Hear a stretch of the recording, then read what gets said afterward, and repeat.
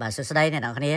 មកយល់ដឹងអំពីវិធីងាយងាយអាចថែរក្សាតម្រងនោមឲ្យមានសុខភាពល្អបាទតម្រងនោមសូមបញ្ជាក់ថាតម្រងនោមនឹងគឺក្រលៀននឹងឯងបាទ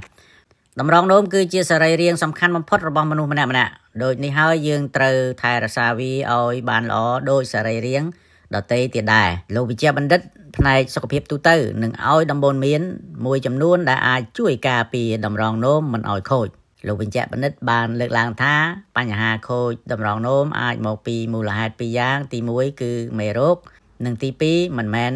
មេរោគមូលហេតុមកពីមេរោគគឺមេរោគក្នុងខ្លួនផ្សេងផ្សេងឬមេរោគ មកពីខាងក្រៅទៅបង្ករោគធ្វើឲ្យរលាកឬក៏ប៉ះពាល់ដល់តម្រងនោមចំណែកមូលហេតុដែលបណ្ដាលបញ្ហាខូចតម្រងនោមផ្សេងទៀតគឺដោយសារជំងឺទឹកនោមផ្អែមលើសឈាមញ៉ាំអាហារបដិបដាជាពិសេសអាហារដែលមានជាតិប្រៃពេកឬក៏ផឹកសូរ៉ាជាដើមចំពោះរោគសញ្ញាដែលបញ្ជាក់ឲ្យយើងមានតម្រងនោមគឺក្តៅខ្លួន ខ្លួនយើងឡើងហើមព្រោះក្នុងខ្លួនចាលជាតិទឹក មិនសូវនោមទឹកនោមតិចបាទមានន័យថានោមតិចហើយនោមមកមានឈាមខ្ទុះឬល្អក់កកប្រសិនបើពិនិត្យឈាម គឺឃើញជាតិ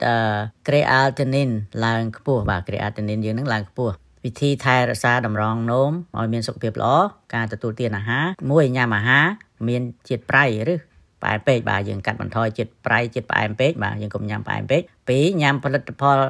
ដែលមានជាតិគីមីបាទយើងអាចជៀសវាងបានកុំញ៉ាំផលិតផលដែលមានជាតិគីមី3កុំផឹកសូរ៉ា4កុំផឹកភេសជ្ជៈបើកម្លាំងព្រោះមានជាតិស្ករឬក៏ជាតិ taurine 5ខិតខំផឹកទឹកឲ្យបានច្រើនហើយណាស់ក៏បាន2ទៅ3លីត្រក្នុងមួយថ្ងៃដែរបាទ6ញ៉ាំអាហារសម្បូរជាតិកាល់ស្យូមបាទកុំសូវញ៉ាំអាហារណាដែលសម្បូរជាតិកាល់ស្យូមច្រើនពេកបាទដូចឆ្អឹងមន់ឆ្អឹងអីនេះកុំប្រឹងជញ្ជក់ពេកបាទ7ហាត់ប្រាណបាទបញ្ចេញជាតិពុលពីក្នុងខ្លួនបាទជាប្រចាំបាទយើងញ៉ាំជាតិ